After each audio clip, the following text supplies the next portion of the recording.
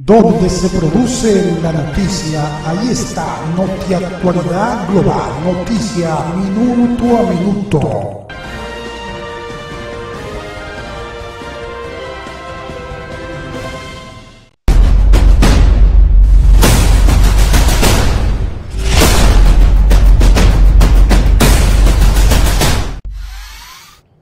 Aquí seguimos en contraparte por su canal Hilando Fino TV Televisión a otro nivel. Una honra para nosotros tener hoy un acompañante excelente, un ser humano de grandes dotes. Nos referimos a don César Ramírez Medina. Don César es el presidente de Productores y Asociaciones Peravia Valdesia, en la parte alta de lo que conocemos como Baní una zona altamente productora, donde se producen decenas de rubros de los que van a la mesa del dominicano. Y para nosotros es un gran honor tenerle por aquí un amigo de algunos años ya, a quien conocemos en estos avatares agrícolas, pecuarios, campesinos. Don César, un honor para nosotros tenerle por aquí. Muy buenos días, le agradezco la invitación porque la verdad es que este es un programa que se ve en todo el país. Don César, el martes de la próxima semana, dos de la tarde, hay convocada sesión del Senado de la República. ¿Cuál es el tema que más nos interesa tratar con usted? La Cámara de Diputados aprobó en dos lecturas consecutivas el proyecto enviado por el Poder Ejecutivo para liberar de aranceles 67 productos del campo. Ya el Senado lo aprobó la semana pasada en primera lectura, lo van a conocer en segunda lectura el martes. Para nosotros eso es un hecho, eso va a ser ley. Pero vamos a vincular esto, don César, con que en el año 2005, Estados Unidos, Centroamérica, el Caribe y República Dominicana firmaron un convenio que es el DR CAFTA, que ya para el 25. El 25 entrarán al país totalmente liberado de impuestos más de 200 productos del campo. Que usted no haga un análisis sobre esta nueva situación que estamos enfrentando los que somos del campo y los que consumimos los alimentos del campo. Bueno, bien, fíjate, con relación a la tasa cero, nosotros los productores no podemos estar de acuerdo, porque eso va a limitar nuestra producción, ¿cómo vamos a poder competir? Va a bajar la mano de obra, porque si traen productos de fuera, tasa cero, que déjame decirte, lo van a traer tasa cero y van a seguir caro igual. Pero eso va en contra de la producción nacional. Entonces yo entiendo que es un error del gobierno ponerle tasa cero. En el 25 entra el RDCATA, que también viene muchísimo producto con tasa cero. Entonces, eso es dándole una estocada fulminante al sector agropecuario en este país. Y no sé por qué este gobierno tiene un asesor importante en materia agrícola que es Hipólito Mejía. Yo no sé por qué están haciendo esa situación donde eso va en contra de la producción nacional. Pero déjame decir, si, se, si nos vamos a suplir de Estados Unidos el arroz, las victorias, y se arma un problema en Estados Unidos que no puede llegar los productos aquí. Entonces nos vamos a quedar sin el producto de Estados Unidos y sin la producción nacional. O sea, tenemos que ponerle ojo visor a esto. No es posible. Si por la tasa cero van a, van a dejar de entrar al, Estado eh, 4 o 5 mil millones de pesos, ese dinero lo que deben hacer es invertirlo en la producción del, en el campo.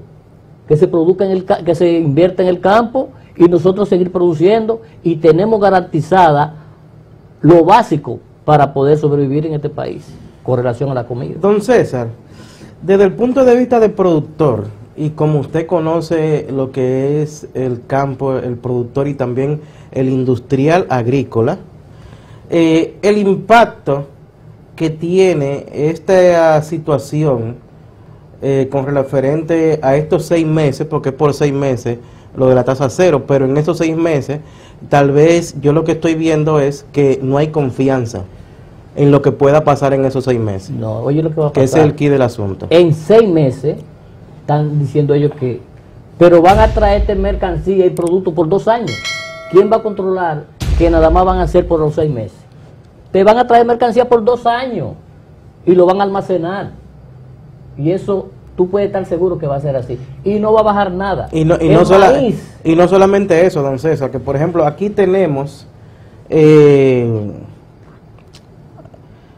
un producto X del campo.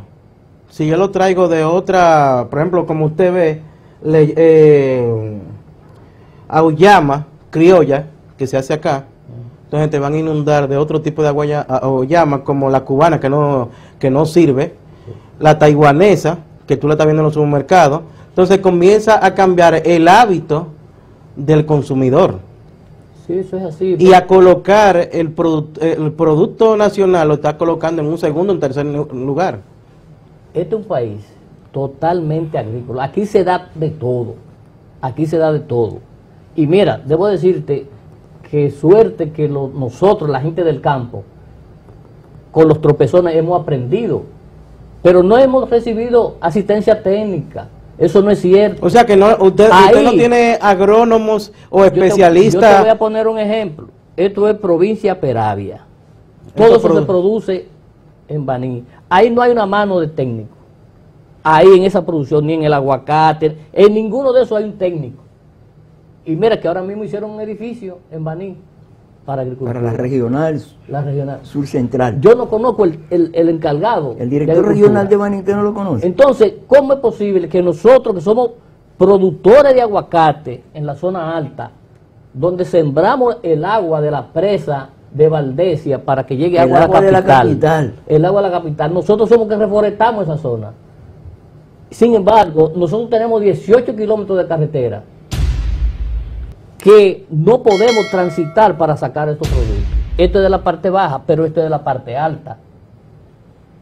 Y hay 18 kilómetros de carretera que hemos luchado para que no la falten, la, la pongan en condición hábil para uno poder sacar los productos. Y ese arreglo o ese acondicionamiento de esos 18 kilómetros, prácticamente en menos de un año se retribuye. Hermano, pero nosotros estamos sacando, produciendo 7 millones de unidades de aguacate. Solamente del que Solamente, es el sector ¿Cuánto aguacate. le llega al gobierno de esa producción que la mayoría es para los Estados Unidos, para, o sea, sale del país? Entonces, nosotros Ingresa divisa. estamos aportándole divisa al Claro. Estado. 18 kilómetros de carretera no es nada. Don con César relación habla- a lo que nosotros estamos. Don César habla de esos produciendo. 18 kilómetros de carreteras y a propósito, en este momento, hoy, en este preciso momento, muy cerca de la zona de Valdesia, en la zona alta de San José de Ocoa, hay una marcha, una manifestación, precisamente por la situación de los caminos vecinales. Unas 10 o 12 comunidades de arriba de Ocoa van a marchar ahorita, a las 10 de la mañana, en toda la zona rural de Ocoa, porque los caminos vecinales de allí están en las mismas condiciones. Es un, es un grito a nivel nacional que hay con los caminos vecinales. Porque, ojo, son caminos vecinales que antes se habían construido y se habían reconstruido, pero mala calidad en las construcciones.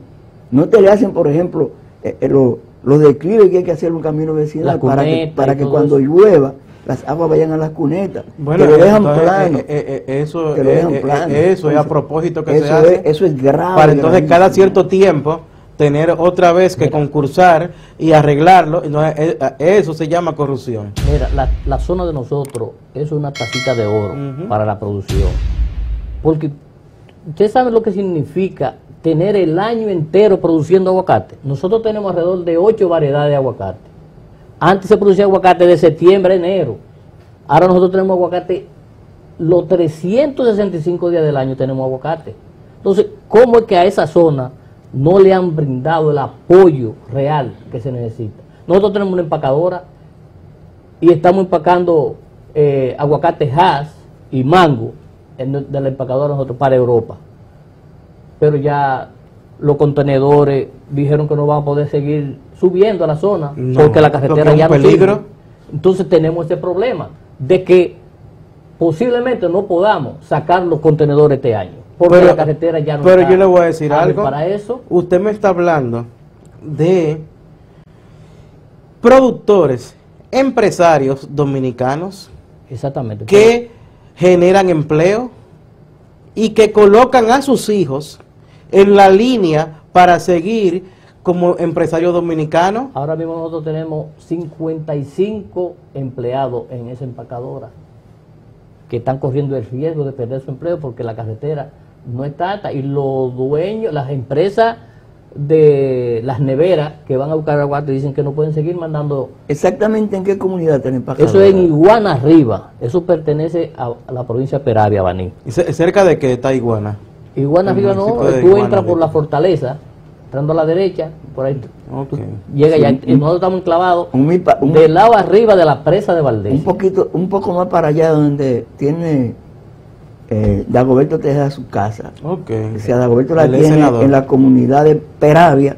ma- Por ahí uno sigue hasta las dos iguanas, iguana baja y iguana arriba. Entonces, yo entiendo que el gobierno tiene que tirar los, agri- los técnicos, los agrónomos, que además han cancelado a la mayoría, pero los que están, que lo tienen al campo. Porque cuando tú vas a solicitar un técnico, lo que te dice, no, yo no tengo combustible. Entonces, así no puede O sea, están ser. desmotivados además. No, no, no, no, así no puede ser. Ahí no hay una sola mano de, de un técnico. Eso es nosotros. Y usted debería de estar aquí sentado diciendo que se siente muy bien porque los organismos reguladores, en este caso todo lo que tenga que ver con el sector agro o alimentos, lo han promovido y lo han apoyado técnicamente. Pero lamentablemente no es así. Usted sabe una cosa que aquí no se menciona, y es que las cadenas de supermercados no han estado dando apoyo. Todos esos productos los llevamos nosotros a través de las asociaciones, las cadenas de supermercados no han estado comprando y a pronto pago. Hay que decirlo también porque hay- se dice que, que A los tres meses o cuatro pagan- meses. No, no, no. Si es asociación le pagan rápido.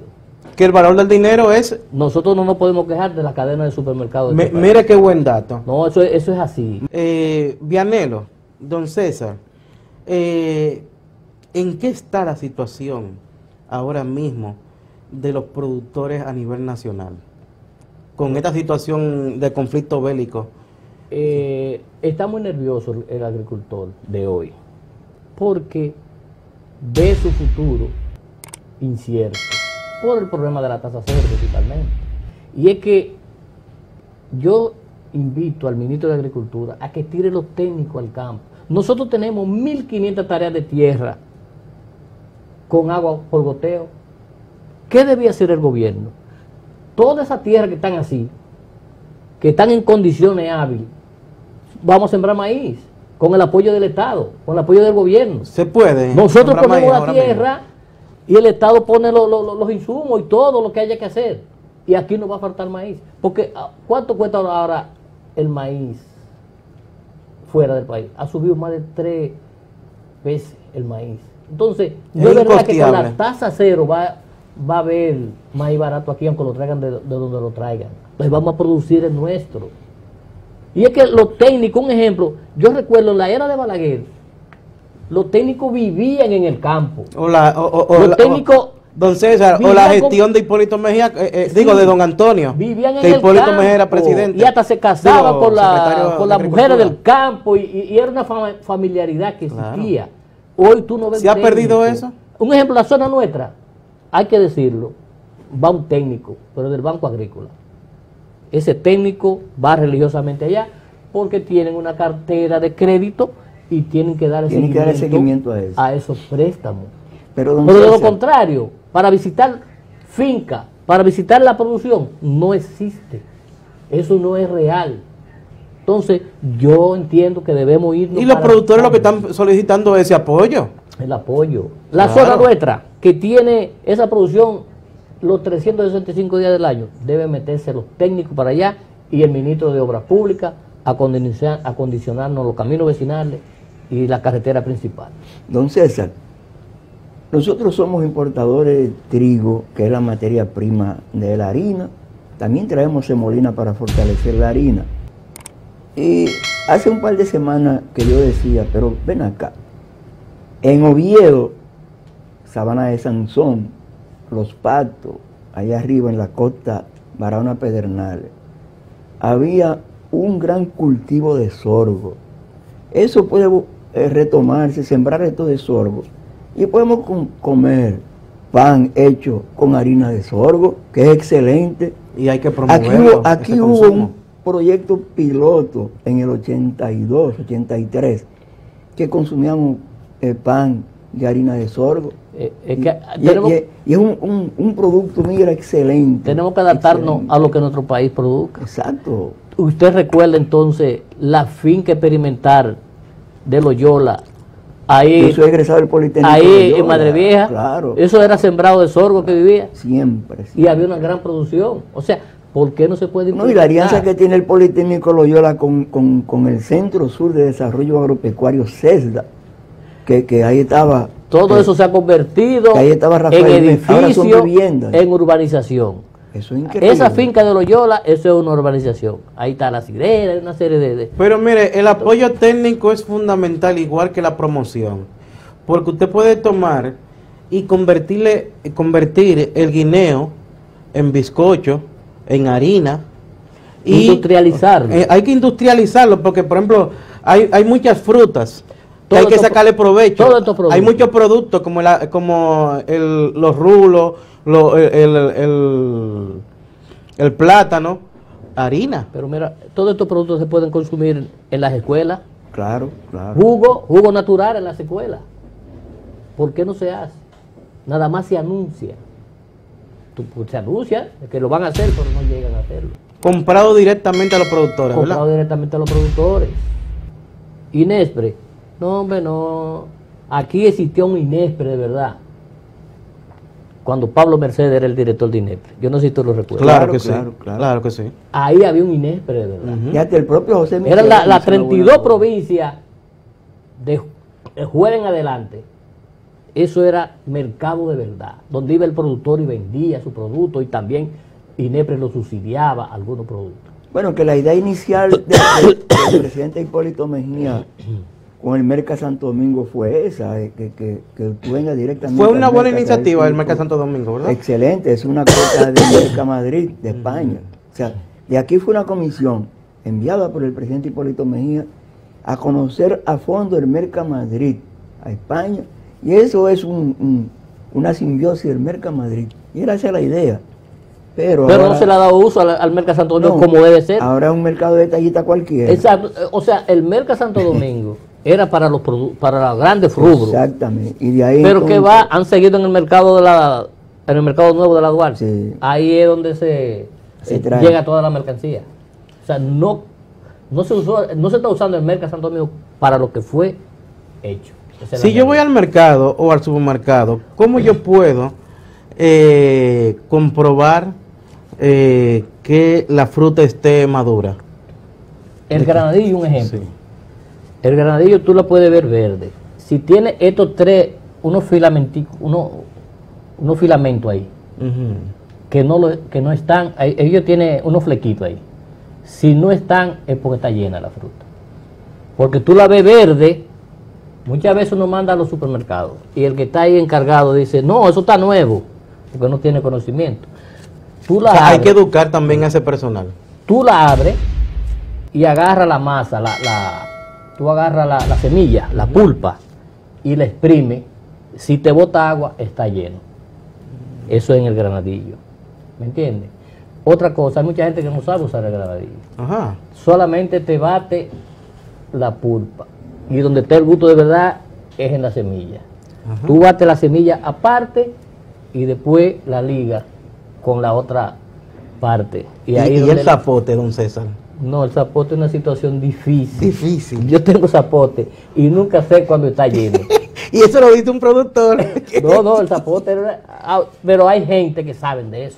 Bueno, don César. Hay gente eh, que saben de eso. Estamos ya en los segundos finales de este espacio. Pero este es un... ¿qué- Quisiéramos- ¿Qué nombre es este? Este aguacate es Carla. Ya esta producción está concluyendo. Estamos terminando el programa. Quisiéramos que usted dé un mensaje final. Este es el, el, el Beni. Sí. Que usted dé un mensaje final a sus compañeros productores de la región de Valdesia, al propio gobierno dominicano sobre la situación que estamos atravesando. Eh, bueno, yo invito que el gobierno central se empantalone y salgan al campo.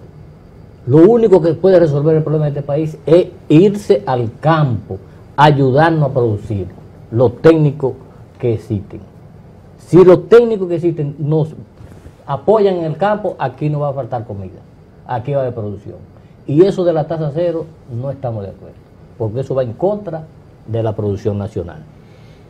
Bueno, César, muchísimas gracias por habernos acompañado este domingo a los amables televidentes de Irlando Fino TV, Televisión a otro nivel, decirle que contraparte con Mario Lara y Vianelo Perdomo vuelve el próximo domingo a las 8 de la mañana. Para mantenerte informado, suscríbete a NotiActualidad Global, noticia minuto a minuto.